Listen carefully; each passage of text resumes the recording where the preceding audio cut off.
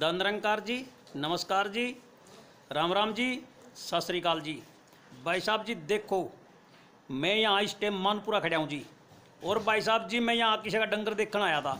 और ये बच्चा है जी, है तो यहीं का फिर करनाल रहा है जी।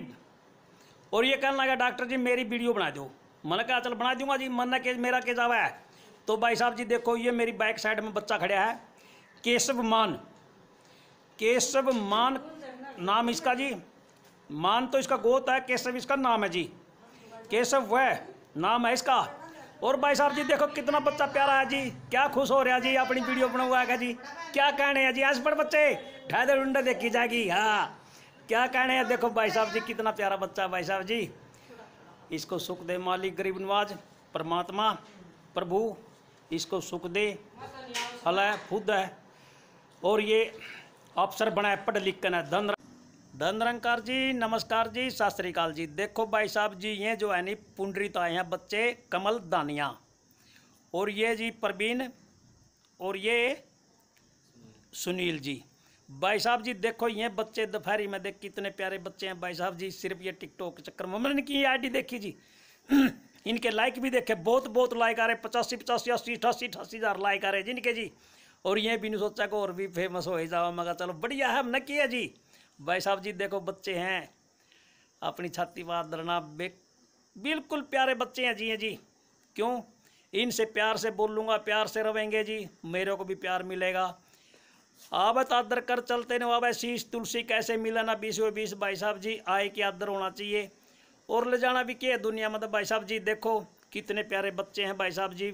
मैं इनको अपने सिर पर बैठाता हूँ कि भाई साहब जी ये इज़्ज़त से रहें और प्यार से रहें, धन धन निरंकार जी, नमस्कार जी, सत श्री अकाल जी।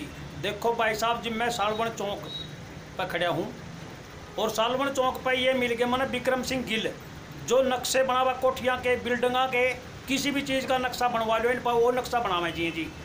अरे ये भाई साहब जी देखो, इनका ये नक्शा बनाने का सारा सामान है इन पर ये देखो, सारी चीज़ है मतलब जो भी कहने का है, ये बहुत साल तो नक्शा बना रहे हैं जी, और यहाँ आई हैं जी जी। आप ये देखो जी, कितना बढ़िया प्रोग्राम है, इनका कितना बढ़िया वो बना रहे जी, हैं जी। बनाना भी चाहिए आदमी ना अपनी उस जी अपनी वो, वो बनाने चाहिए बच्चे पढ़ते हैं जी भाई साहब जी देखो ये लड़का कितना प्यारा है और कितना अच्छा है इसका नाम है विक्रम गिल ये भाई साहब जी बहुत बढ़िया है और ये नक्शे बना हुआ है बिल्डिंगा के और भाई साहब जी कोई भी चीज़ का नक्शा बनवा लो कोठी बिल्डिंग किसी भी चीज़ का नक्शा बनवा लो सारे नक्शे बनवा हुआ धन रंकार जी नमस्कार जी सत श्रीकाल जी भाई साहब जी देखो भाई साहब जी, ये अपने पेडे हैं। और ये फल फ्रूंटा के पेडे हैं जी भाई साहब जी। ये देखो भाई साहब जी, ये फल फ्रूंटा के पेडे हैं जी। ये सब अपने लगाए हैं जी, ये जी। और ये लॉकडाउन में जो है नहीं इन्हें बेचा हाँ और अपना टाइम पास कर रहे हैं जी भाई साहब जी, देखो जी। ये जो है नहीं, अपना सब कुछ, ये बागबाड़ी सब अपनी है जी। इस बागबाड़ी में सारी तरह के फूल पौधे, पेडे, सारे फल फ्रूट के सारे पेडे लगे हैं जी। भाई साहब जी, ये देखो अपने हैं जी, ये जी। ये अपना सारा है जी। और ये फूल पौधे हैं जी, फूल पौधे भी हैं। और बागबाड़ी भी है जी। यहाँ सामान जो भी लगता, पेडे लगते हैं, जो भी फल लगता जी, उसने बेच कर लॉकडाउन में अपना टाइम पास कर रहे हैं जी। भाई साहब जी लॉकडाउन को तुसी आराम ने सभी रखनी चाहिए, अपनी मास्क लगाना चाहिए मुँह पर जी सैनिटाइजर का प्रयोग करना चाहिए जी, हमने मतलब कोई भी मतलब अपनी सुविधा खुद धनरंकार जी, नमस्कार जी, सत श्रीकाल जी, राम राम जी। देखो भाई साहब जी, जय हरियाणा टीवी।